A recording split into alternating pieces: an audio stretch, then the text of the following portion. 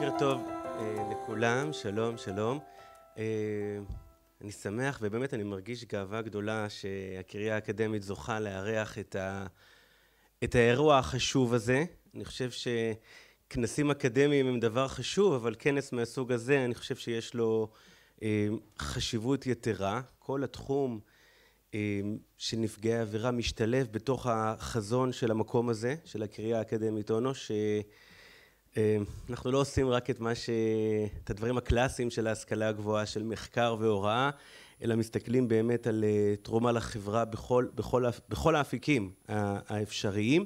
על רקע זה גם הוקם מרכז נוגה שעשה דברים נפלאים, וזו הזדמנות להגיד תודה לפרופסור דנה פוגץ' על כל העזרה. אני רוצה גם לומר תודה לכל המארגנות והמארגנים של הכנס. ואני אשאיר את הדברים לאנשי המקצוע, אז אני מברך את כולכם ובאמת שמח ושיהיה לכולם יום מוצלח. תודה, תודה רבה.